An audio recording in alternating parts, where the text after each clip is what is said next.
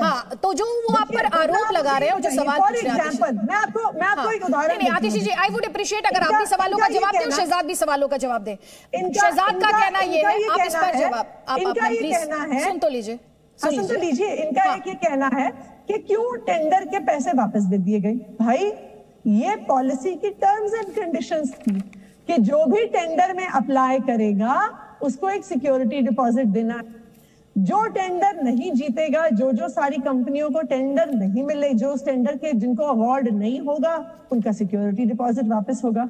अब मीनाक्षी लेखी टीवी पे आके कहती हैं, देखो, मनीष सिसोदिया ने किसी लिकर की कंपनी को पैसा दे दिया। भाई पॉलिसी में था। टेंडर नहीं मिलेगा तो सिक्योरिटी डिपॉजिट वापस मिलेगा। अब ऐसी अजीबो गरीब ये आरोप लगा रहे हैं। देखिए अदिति जी, ये आरोप बिल्कुल निराधार है। इनको खाली लेकिन आतिशी जी शहजाद मैं आपको वापस मंच दे रही हूँ लेकिन आतिशी जी जो आपने उठाया ये एलवन एलवन के टेंडर की आप बात कर रही हैं जिसमें तीस करोड़ रुपयों की बात एलिगेशन है कि वो लौटा दिया गया जबकि उसको फोरफीट किया जाना था। आप उस एलिगेशन की बात कर रही हैं। इसीलिए मैं इसी मैं इसी उसमें उनकी दलील ये थी जो मीनाक्षी लेखी ने सवाल उठाया मैं उनकी दलील ये थी जो ड्यू प्रोसेस था उसे फॉलो नहीं किया गया और ये पैसा फोरफीट किया जाना चाहिए था लेकिन लौटाया गया। शहजाद मैं उसके बाद मंच दे रही हूँ आपको। अगर मीनाक्षी लेखी जी मीनाक्षी लेखी जी और उनके बाकी सारे साथी एक्चुअली थोड़ा सा कागज़ पढ़ लेंगे तो उनको भी पता चल जाएगा कि इनके दलीलें ही एक घंटे में खारिज हो जाएँगी। पर इनकी समस्या ये नहीं है। इनकी समस्या अरविंद केजरीवाल है। इनकी समस्या ये है कि इनके प्रधानमंत्री मोदी जी को अरविंद केजरीवाल से डर लगता है। इनको लगता है कि अरविंद केजरीवाल की लोकप्रियता बढ़ती जा रही है। तो हर तरह के किसी भी तरह के निराधार झूठे आरोप लगाओ कि दुनिया को भी लगे कि ठीक है अब ये जो अरविंद केजरीवाल से प्रधानमंत्री को डर लगता है सवाल पर मैं वापस आऊँगी। ये पॉलिटिकल डिस्कशन है आतिशी जी। शहजाद पूनावाला आपने सुना आतिशी आतिशी कह रही है जो एलवन का टेंडर था। मैं मैं प्लीज़ बस कोशिश ये है कि आज जो आप लोगों के बीच वाद विवाद हुआ है ना उसे दर्शकों को सरल भाषा में स्पष्ट कर सके। शहजाद ये कह रही है कि उसके तो जो डॉक्यूमेंट्स थे उसमें प्रोसेस क्लियरली डिफाइंड था। प्रोसेस को रूल बुक को फ्लाउट ही नहीं किया हमने तोड़ा ही नहीं रूल्स को। जी।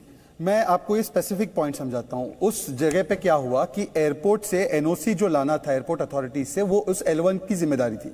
उन्होंने अपनी ज़िम्मेदारी नहीं निभाई और इसीलिए 48 11 बी दिल्ली एक्साइज रूल्स 2010 के तहत उनको फॉरफीट करना चाहिए था पर ईएमडी दे दी गई और वो भी ये डिसीज़न एक्साइज डिपार्टमेंट ने अपने लेवल पर लिया जो कि वायलेशन ऑफ़ प्रोसीजर भी है। दूसरी बात मैं केवल एक सवाल नहीं पूछ रहा हूँ। मैंने आपको तीन चार सवाल पूछे। देखिए बेहतर होगा आप एक सवाल पूछे और उसका जवाब लें और फिर आप मुझे मुझे पर प्लीज़ एक एक करके क्यों देखिए अतिशी जी केवल प्रवक्ता नहीं वो सरकार का हिस्सा भी एक तरीके से वो एमएलए भी है। तो मुझे एक विपक्ष के रूप में उनसे बहुत सारे स्पेसिफिक सवाल पूछने ये इधर उधर की बातें करनी है तो मैं उनको पूछूँगा स्कूल कौन सी बनाए सवाल पूछे और उसके बाद आतिशी जी जवाब देंगी प्लीज़ हाँ मैं स्पेसिफिक एक और सवाल पूछ सकता हूँ। अदिति जी 8 ग्यारह 2021 को बिना अथॉरिटी के फॉरेन लिकर को सस्ता बनाने के लिए पचास रुपए प्रति केस का डिस्काउंट किस आधार पर लिया गया? Example. दो वेंट पर वार्ड की बात थी तो उसको तीन वेंट से ज़्यादा करने की परमिशन जो दी गई वो कैसे दी गई बिना कैबिनेट में आए? उसके अलावा जो ये एडवर्टाइजिंग करती है कंपनियाँ उसके ऊपर कितनी कार्रवाई की गई? सेक्शन 41 दिल्ली एक्साइज 2009 के राय जवाब इसका जवाब दीजिए और बिना permission operating period of licence कैसे बढ़ाया अदिति जी। मैं मैं मैं मैं, मैं इसको और सिंप्लीफाई करती हूँ। जो पहला सवाल पूछा था पचास रुपए पर केस का जो एग्जामेशन दिया गया जिसमें बीजेपी आप पर यह आरोप लगा रही है कि दिल्ली की जनता को इससे नुकसान हुआ। दिल्ली की जनता का वो पैसा था जो आपको कमाई होती। उस पर जवाब। देखिए अदिति जी जैसा मैंने कहा ये बहुत ये बहुत ये ये दुनिया का सबसे बेहतरीन घोटाला है जिसमें सरकार को तेरह सौ रुपए का मुनाफा हुआ है। मैंने आपको एक उदाहरण दिया कि तीस तेरह सौ रुपए का मुनाफा किस प्रकार के निराधार आरोप हैं कि जो पॉलिसी में लिखा जाता है जब उसे फॉलो किया जाता है तो कहते हैं अरे पैसे वापस दे दिए ज़रूर कोई घोटाला है। शहजाद जी ये भी देख लें कि इनकी ही पुरानी सरकारें ये एयरपोर्ट की बात कर रहे हैं कि पिछली किसी भी सरकार ने एयरपोर्ट का टेंडर सौ करोड़ से ज़्यादा का नहीं दिया। दिल्ली सरकार ने ढाई सौ करोड़ रुपए में अवार्ड किया। दैट मीन्स सरकार को 100 करोड़ का मुनाफा तो देखिए ये जैसा मैंने कहा इनकी अदिति जी, समस्या एक सेकंड में है, concept इनकी करना चाहता हूँ। अदिति। ठीक है।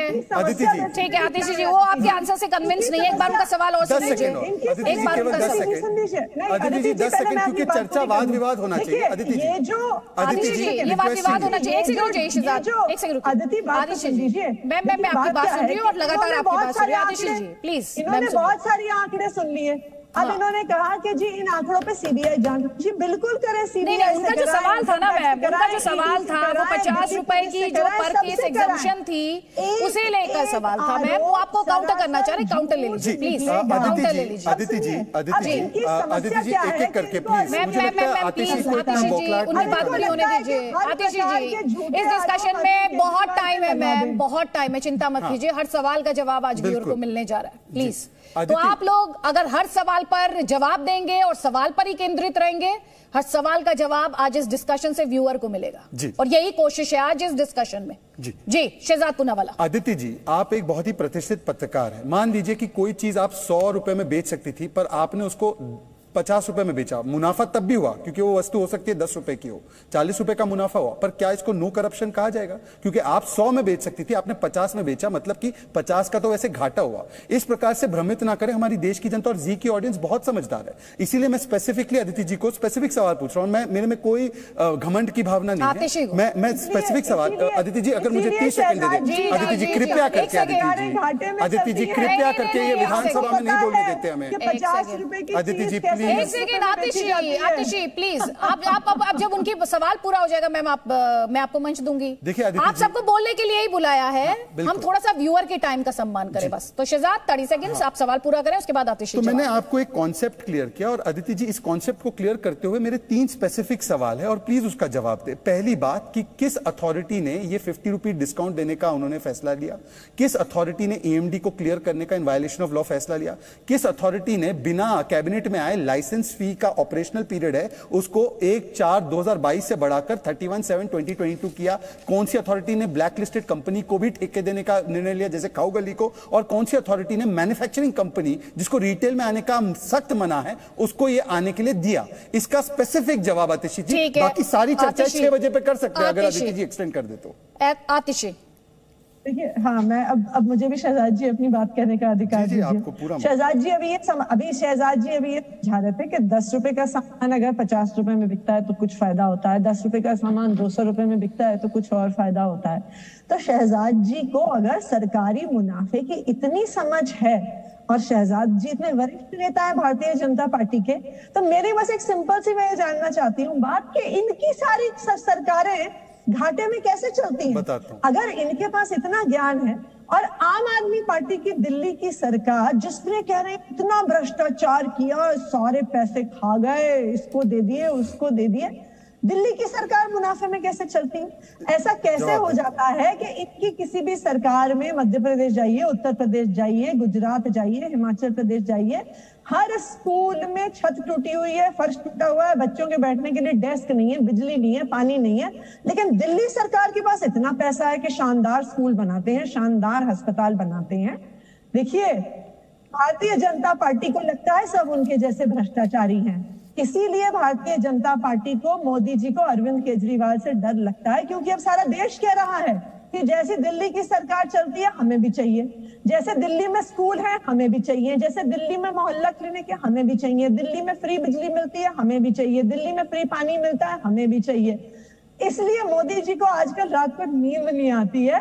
इसलिए वो अनर्गल आरोप अपने अलग अलग चेलों से आम आदमी पार्टी के अलग अलग नेताओं पे लगाते रहते हैं। देखिए अदिति जी आज आज तक अगर हम गिने आम आदमी पार्टी के नेताओं पे तकरीबन डेढ़ सौ केस भारतीय जनता पार्टी कर चुकी है।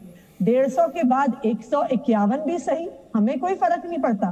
करने दीजिए सीबीआई को जाँच करने दीजिए ईडी को जाँच करने दीजिए दिल्ली पुलिस को जाँच। आम आदमी पार्टी एक कट्टर ईमानदार पार्टी है। ठीक है जवाब ले लीजिए। भरोसा ठीक है। अदिति जी। ठीक है अब जवाब ले लीजिए केस अदिति जी।